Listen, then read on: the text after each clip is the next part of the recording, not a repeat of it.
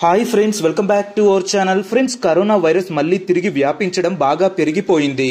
ఈ second wave ఎంత తొందరగా వ్యాపిస్తుంది అంటే రోజుకి మూడు లక్షలకు పైగా కేసులు నమోదవుతున్నాయి. అయితే ఇంతకు ముందు వచ్చిన కరోనా వైరస్ లాగా కాకుండా కొత్తగా రూపాంతరం చెందిన ఈ న్యూ కరోనా వైరస్ వేరియంట్ లక్షణాలు పూర్తిగా మారిపోయాయి. కొత్తగా చేసిన పరిశోధనలో తేలింది ఏంటంటే ఈ కొత్తగా వచ్చిన వైరస్ మీ కడుపు చెవులు మరియు కళ్ళను కూడా ప్రభావితం చేస్తుంది.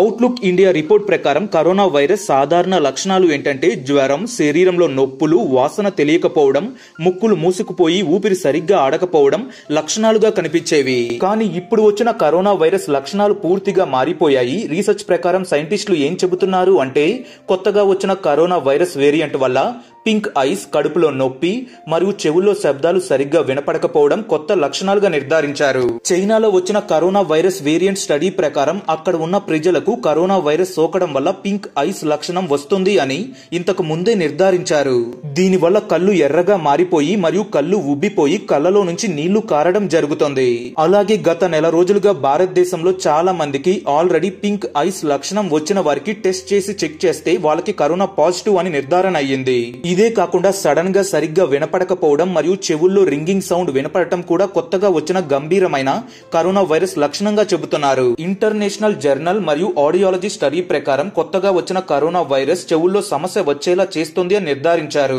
ఒకటి లేదా రెండు చెవుల్లో రింగింగ్ సౌండ్ లేదా శబ్దాలు వినపడుతూ ఉంటే దీనిని తినిటస్ అని పిలుస్తారు.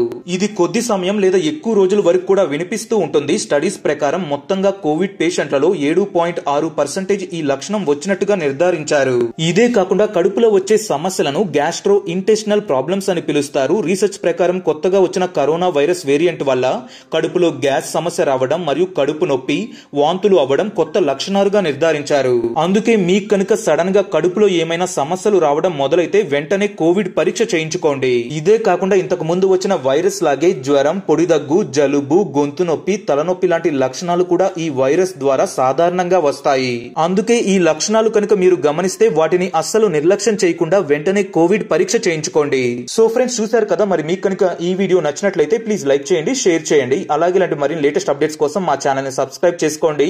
పక్కన ఉన్న బెల్ బటన్ని క్లిక్ చేయండి. మరో కొత్త లేటెస్ట్లో కలుసుకున్నాం take care. Bye bye friends.